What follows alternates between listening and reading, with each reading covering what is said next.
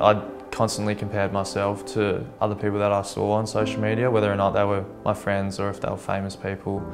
Um, it just created a slight feeling of inadequacy in the way that I was living my life.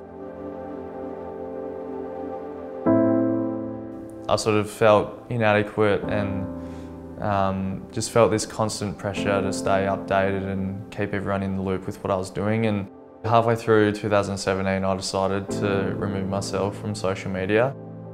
I deleted Instagram, Facebook, Snapchat, everything. The psychologist at the club, um, she was a big influencer of me with um, what I was doing because she's always open to um, the ideas that I have and I, I, was, I've always been a bit of a fan of doing um, little experiments on the way that you live your life and um, what can sort of tinker and change and um, how it makes you feel. So sort of spoke to her about just the way that it did make me feel. And there are a lot of things that I was passionate about, but I wasn't really giving my full attention to. So I thought, um, if I'm feeling the way that I'm feeling, maybe it's worth getting rid of it um, to see hopefully positive changes from that.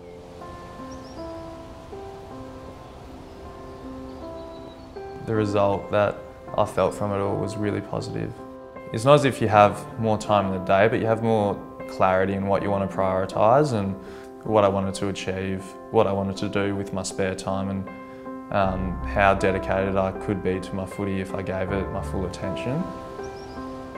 With my friends and family, I think I was more approachable, I was more, I was more engaged in my conversations. I was able to like forge some more deeper relationships with the people around me. In this day and age, like everyone sort of thinks that like there's a potential for an emergency to happen or everything's urgent, like you got to reply to this email straight away, you got to reply to this text, you got to answer this call straight away when it doesn't really have to be like that.